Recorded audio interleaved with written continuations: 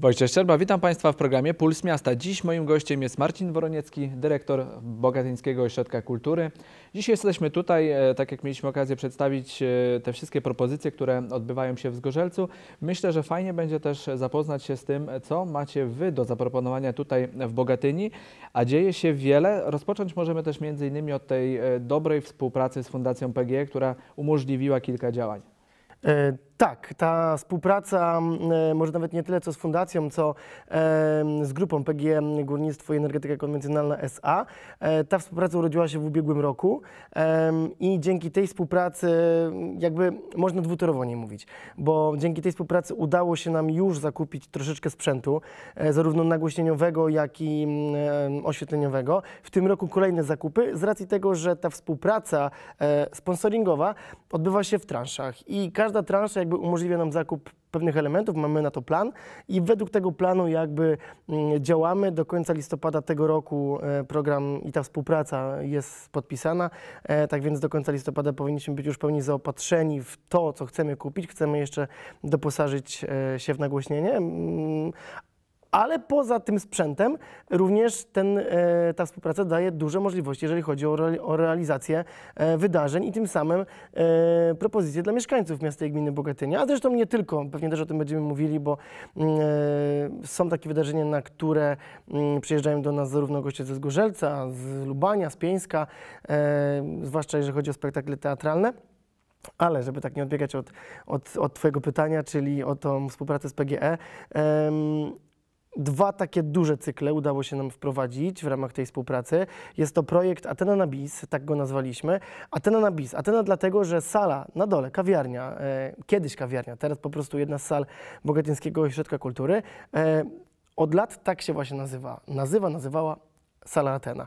I Atena na bis. E, bis dlatego, że przez dłuższy czas, e, patrząc na kilka lat wstecz, nie odbywały się tam imprezy cykliczne. Oczywiście były wydarzenia, ale my to w takiej formie cyklicznej wprowadziliśmy raz w miesiącu. Zawsze odbywa się koncert w ramach programu, w ramach tego cyklu Atena na bis. E, I staramy się w ramach tych koncertów wyszukiwać artystów z naszego terenu albo działających bezpośrednio w gminie Bogatynia, którzy mogliby zaprezentować swój talent gościom, mieszkańcom, e, ale również staramy się wyłapywać naszych ludzi, w cudzysłowie mówiąc, którzy pochodzą z gminy Bogatynia, pochodzą stąd, ale kariery zrobili już e, rangi ogólnopolskiej, czy też nawet ogólnoświatowej. E, udało nam się w tamtym roku kilka takich koncertów zorganizować. E, patrząc na ten najwyższy level, to chyba e, Christian Walczak, Cage'a, e, człowiek stąd, człowiek z Bogatyni, który się tutaj wy wychowywał, e, który tutaj rozpoczynał swoją muzyczną karierę, przygodę. Teraz produkuje, tworzy z najlepszymi e, na świecie, jeżeli chodzi o gatunek muzyki reggae. Udało się go gdzieś na tak zwanej trasie złapać i w ubiegłym roku był w Bogatyni. E, ale też szukamy naszych lokalnych artystów, którym dajemy możliwość zadebiutowania.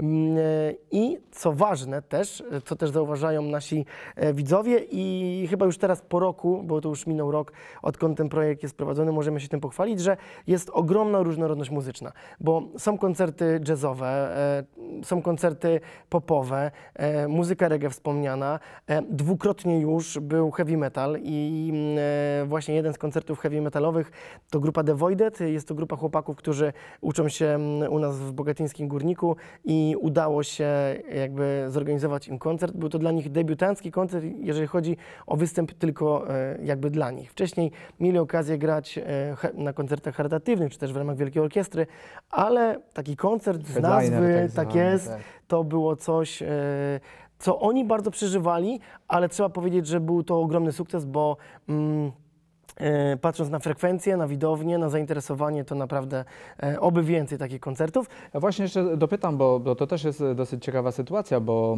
e, z tego, co już mieliśmy okazję kiedyś rozmawiać, te koncerty mają swoją własną widownię, która przychodzi praktycznie na każdy koncert i są to czasami starsze osoby. Tak. O ile powiedzmy jakaś muzyka francuska i tego typu wydarzenia są jak najbardziej zrozumiałe, no to już te spotkanie z heavy metalem. Dokładnie. To jest bardzo ciekawe, o czym mówisz, bo jakby w sedno wstrzeliłeś. Mamy taką grupę grupę e, pań właśnie, które bez względu na to, co to jest za koncert, jaki to jest rodzaj muzyki, po prostu przychodzą. Przychodzą, żeby spędzić e, czwartkowy, piątkowy, środowy, bo to jest w różny dzień tygodnia wieczór, e, przy muzyce, na którą nieraz czekają, bo lubią, bo, bo jakby gdzieś tam słuchają tego rodzaju tego gatunku, ale też z czystej ciekawości.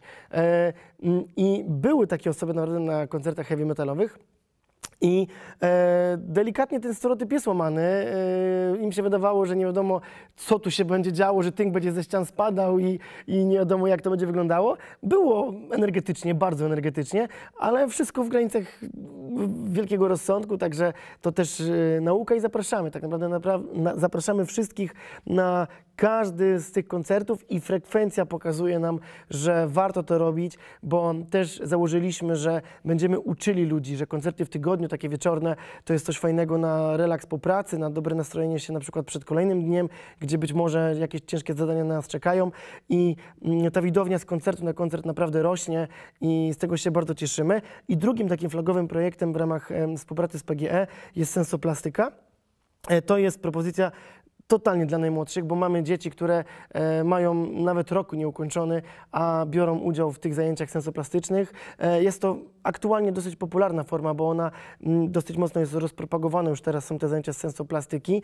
E, my staramy się, żeby ta cena biletu była też przystępna. Fin- dofinansowujemy też jakby to Także e, e, i każde zajęcia sensoplastyki mają inną tematykę. Im bliżej świąt, wiadomo, celujemy e, teraz tak na przykład jak w marcu, 26 marca będzie e, sensoplastyka związana z Wielkanocą. Ta, która była w lutym była sensoplastyką indiańską, w styczniu była sen, sensoplastyka zimowa i tak cały czas gdzieś e, animatorka Gabarka, która prowadzi u nas e, te zajęcia, celuje tematycznie w coś, co się w danym miesiącu dzieje i też trzeba powiedzieć, że niemal zawsze na pełnej frekwencji. E, tutaj sprzedajemy 25 biletów, to jest jakby limit na jednego trenera sensoplastyki i niemal zawsze na pełnym limicie udaje nam się to zrobić. No i też warto wspomnieć o tym, że e, współpraca z PGE to też duże wydarzenia. One nie są cykliczne, e, ale jeżeli chodzi o nazwiska, które udało się w ubiegłym roku ściągnąć do Bogatyni, to uważam, że naprawdę mm, są to duże nazwiska. Natalia Przybierz była w październiku mm, z zespołem. I w grudniu mieliśmy Sławka Uniatowskiego, który ró- również z zespołem gościł e, na dyskach sceny widowiskowej naszego boku. E, no to są nazwiska uznane, to są nazwiska, które jakby... Raczej rzadko się też pojawiają. Tak, w no nie oszukujmy się, e, w, w, będąc ośrodkiem kultury w takiej miejscowości, jaką jest Bogatynia, czyli nie jest to jakby centrum województwa. Oczywiście wszystko jest do zrobienia i wszystko jest realne, ale czasami trudniej jest z terminami u takich, u, u takich gwiazd, bo em, tak wspomniałem już o tym raz, czasami udaje się je ściągać po trasie, czyli grają gdzieś w rejonie I przy i, do, okazji, i przy okazji tak, udaje się zagrać. tak, to wtedy mamy trochę mniejszy wpływ na termin, musimy się już my dostosowywać. No ale staramy się spełniać te zapotrzebowania widowni e, i, e, i, i, i zapraszamy te największe nazwiska. Pracujemy teraz bardzo mocno nad tym, żeby w maju pojawił się Igor Herbut z zespołem Lemon. Jesteśmy na bardzo dobrej drodze, żeby to się udało. No, ciekawe jest też to, że to nie, nie tylko sam koncert, ale też była i rozmowa e, z, ze Sławkiem i to też można gdzieś zobaczyć, można się dowiedzieć więcej na temat samego artysty, bo o ile jest znany, wiadomo, nie, nie każdy musi akurat gustować w takim typie muzyki, nie każdy musi tą osobę znać. Dokładnie. I e, to też gdzieś jeden z projektów, które jakby chcemy realizować. Mamy takie moż- możliwości zarówno techniczne, jak i umiejętności wśród naszych pracowników, aby e, takie wywiady, czy też takie rozmowy przeprowadzać i później możemy korzystać na przykład z Waszej gościnności na antenie i móc chwalić się tym, co, co udało się nam zrobić i pilnujemy tego, żeby artyści, którzy przyjeżdżają, taki ślad, w cudzysłowie mówiąc, po sobie zostawiali i niemal zawsze to się udaje. Chyba nie zdarzyło się jeszcze, żeby ktoś nam odmówił tego wywiadu, tej, tej rozmowy i to tak dobrze procentuje na kolejne współpracę na 100%. Ostatnio była Anna Mucha e, ze spektaklem i też udało się ją na nasz fotel e, na nasz fotel zaprosić. Dzisiaj, e, my, nie wiem kiedy pójdzie materiał, my rozmawiamy 6 marca, dzisiaj będzie Anna Mucha już u nas na Facebooku do oglądania, do słuchania. Jakie duże wydarzenia planujecie w najbliższym czasie? E, No tak, to jest, można powiedzieć, początek roku. E, Marzec to jest taki czas, kiedy to wszystko tak naprawdę, ten sezon taki imprezowy, eventowy startuje. Em, No to W każdym miesiącu zawsze działo się będzie coś dużego. W, w marcu najbliższe takie duże wydarzenie dla nas trzydniowe mm, to przyszły piątek, sobota i niedziela. E, już troszeczkę pod święta wielkanocne jakby się przygotowujemy. Będą warsztaty, będzie kiermasz, kiermasz zarówno na Dolnym Holu, jak i tym razem chcemy również wyjść z kiermaszem przed Bogatyńskie Ośrodek Kultury. Oby tylko pogoda e, na to pozwoliła, to będziemy jakby kontrolowali, ale patrząc na aktualne prognozy jest na to duża szansa, że będziemy w stanie wyjść e, z propozycją na zewnątrz. Kino w sobotę i w niedzielę o 14 otwarte dla miasta. Dwa filmy, dwie produkcje Disneya. W sobotę em, em, zapomniałem, Ronusterka, o, przypomniał mi się tytuł, Ronusterka i w niedzielę e, film Życzenie, bajka Życzenie, to produkcja Disneya i zaraz po filmach e, od 16 w sali tanecznej animacje dla dzieci, warsztaty dla dzieci, mnóstwo propozycji, gwarantuję i to nie jest slogan, każdy zna- znajdzie coś dla siebie, bo naprawdę będzie i coś dla dużych, i coś dla małych, także już teraz zapraszam. E, Później święta to taki czas e, spokojniejszy troszeczkę dla wszystkich. E, W kwietniu uderzamy z teatrem, Teatr Komedia ponownie zagości do Bogatyńskiego Ośrodka Kultury. 18 kwietnia spektakl Psychoterapia. Także już też zapraszam, tutaj wszystkich zapraszam, bilety zarówno poprzez stronę kupbilecik.pl, jak i w naszych kasach. E, I te spotkania z teatrem też będziemy starali się bardzo cyklicznie wprowadzać. Em, wprowadzać, one już są. E, tak co dwa, co trzy miesiące maksymalnie e, spotkanie z teatrem e, musi się odbyć, bo na to też jest zapotrzebowanie. Wi- Widzimy to po sali, jak, jak się mm, świetnie sala sprzedaje. 20 kwietnia kolejny turniej e, małych form satyrycznych, tak zwany turniej Ugarzy, 41 edycja. Nad tym już też e, pracujemy, żeby mm, za momencik zaprosić w formie biletów, mm, wy, wypuścić bilety. Maj to miesiąc, w którym jest Dzień Działacza Kultury. To dla wszystkich pracowników ośrodków kultury w całej Polsce myślę, że bardzo ważny miesiąc. Wspomniałem już o tym, pracujemy nad tym, żeby był, e, żeby zagościł u nas zespół Lemon. Jesteśmy na etapie finalizacji jakby i rozmów, i, i, i umów, także myślę, że na 25 maja możemy zaprosić już na na koncert. E, Patrzymy też na duże wydarzenia gminne. E, Nie ma jeszcze daty, jeżeli chodzi o, o wakacje z energią, o, o Dni Miasta. Tutaj jeszcze gdzieś tam te prace trwają, ale już wiemy, że 26 maja po raz kolejny w Bogatyni zagości Festiwal Polska od Kuchni, No Festiwal ogólnopolski, tak, kół gospodyń wiejskich. E, W ubiegłym roku świetnie to wyglądało, naprawdę i atmosfera, i te koła, i to wszystko, co działo się wokół. Także bardzo fajnie, że Bogatynia po raz kolejny będzie mogła być gospodarzem Polski od kuchni. Tutaj starania e, burmistrza miasta i gminy naprawdę bardzo duże, żeby e, jakby ta finalizacja doszła do, do skutku. Jak już jestem przy e, temacie burmistrza, to też wiele wydarzeń, które dzieje się w boku.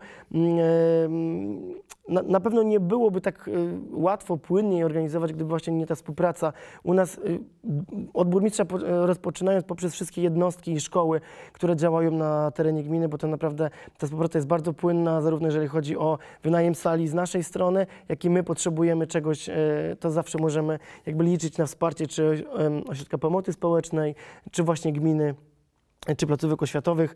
I dzięki tej współpracy ta oferta dla miasta jest naprawdę bardzo ciekawa e, i dostosowana do potrzeb, do, do wszystkich, do każdych grup wiekowych, bo tak staramy się też uderzać, e, pilnować tych świąt patriotycznych, bo też jakby mm, bardzo duże grono mieszkańców żyje tymi uroczystościami patriotycznymi i też trzeba pielęgnować jakby i pamięć i mm, e, pilnować tych dat w kalendarzu. No to tak, to mniej osób miejsce. zauważa pracę tutaj Domu Kultury, natomiast trzeba przyznać, że z reguły to jest i sprzęt, i pracownicy, wszyscy są zaangażowani w organizację e, wydarzeń właśnie takich patriotycznych, miejskich. Tak, i zawsze staramy się też, e, żeby mm, e, to wszystko było na bardzo wysokim poziomie. Gdzieś tam sami sobie tę po- poprzeczkę e, stawiamy tak, e, żeby już jakby pewnego poziomu, z pewnego poziomu nie schodzić i mm, dla, dlatego ta praca ludzi, o której wspomniałeś, jest tak bardzo ważna, bo bez ludzi to pe- pewnie powie to każdy, kto kulturą się zajmuje. E, możesz mieć świetny pomysł, możesz mieć nawet środki.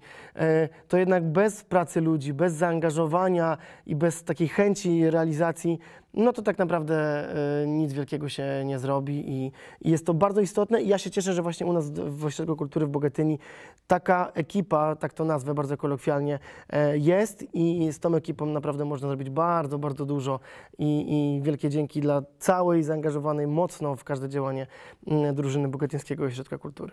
O dużych wydarzeniach usłyszeliśmy, a co jeżeli chodzi o taką codzienną pracę, co dla młodzieży, dzieci, bo tak jak mówiłeś, no, różne grupy wiekowe chętnie tutaj uczestniczą. Tak, e, no, e, ośrodek kultury poza wydarzeniami tymi jakby mm, afiszowanymi, gdzie zapraszamy, sprzedajemy bilety, to taka praca codzienna. Mamy tutaj pracownię, kilka pracowni, jest pracownia ceramiczna, e, do której przychodzą przedszkolaki, zresztą nie tylko przedszkolaki, ale w tym trybie do południa przedszkola, po południu są to otwarte zajęcia dla, mm, dla, dla mieszkańców, pracownia teatralna, która dwa razy w tygodniu prowadzi zajęcia, pracownia integracyjna bez barier, tam grupy, mm, e, grupy mm, z mm, osób niepełnosprawnych najczęściej, choć nie zawsze, bo mm, grupy przedszkolne, jakby te pełnosprawne również bardzo często korzystają z oferty pracowni integracyjnej, choć fajnie, że jest takie miejsce, gdzie właśnie osoby niepełnosprawne, o których również trzeba pamiętać, dla których również przygotowujemy w ciągu roku różnego rodzaju wydarzenia, mają takie swoje miejsce w gminie i, i wiedzą, że tutaj zawsze e, z, zarówno mogą liczyć i na pomoc, i na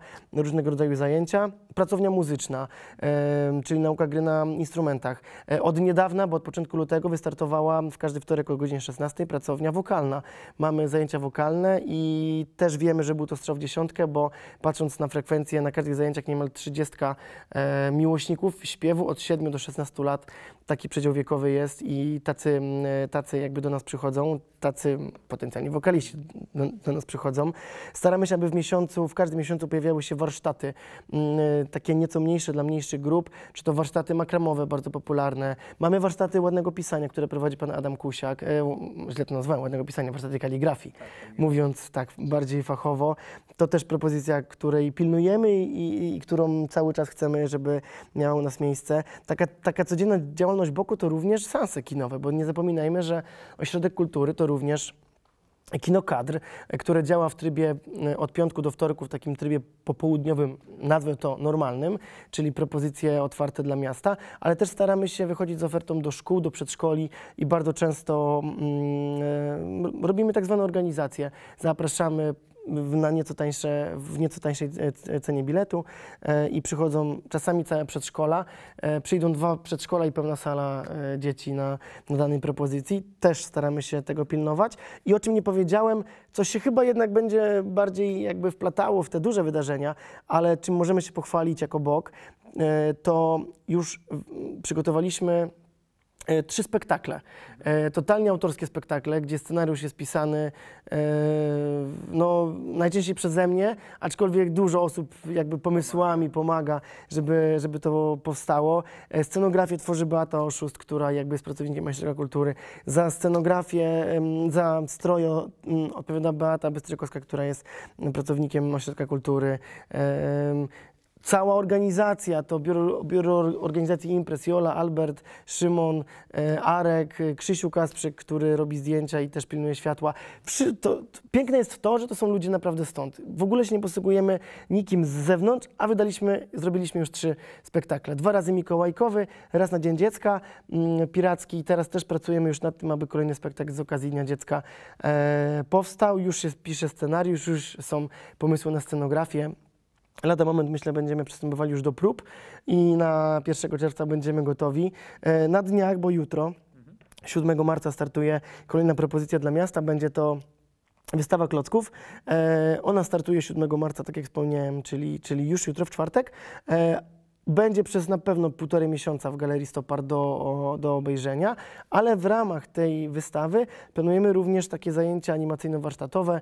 22 marca będzie Ośrodek Kultury, 25 marca Ośrodek e, Kultury, nasza filia w Zatoniu i później 4 kwietnia ponownie u nas mm, w Boku, to będzie czwartek. To będą takie zajęcia mm, warsztatowo-animacyjne, bo zarówno będzie można pobudować z klocków, jak i e, w takich ciekawych animacjach klockowych e, wziąć udział, także zapraszamy już też teraz. Pewnie nie o wszystkim powiedziałem, pewnie o Nie części zapomniałem, tak. dlatego też odeślę na naszą stronę bokbogatynia.pl, no i na, na naszego Facebooka i chyba od Facebooka, od tych mediów społecznościowych bym zaczynał zawsze, bo tam e, najbardziej na bieżąco e, aktualizujemy, tworzymy wydarzenia, można jakby, e, jakby klikając, lubię to mieć wszystko później na tacy. I do tego zapraszam, bo dzieje się dużo, jak o czymś albo o kimś zapomniałem, to przepraszam, wiadomo, że jest tego dużo, staramy się tutaj luźno rozmawiać i mm, no ten Facebook może dużo pomóc. To dziękuję Ci za rozmowę i za streszczenie nam tego, co dzieje się tutaj w Bogatyni. Dziękuję i zapraszamy gorąco. A Państwa zapraszam na kolejne wydanie programu Puls Miasta.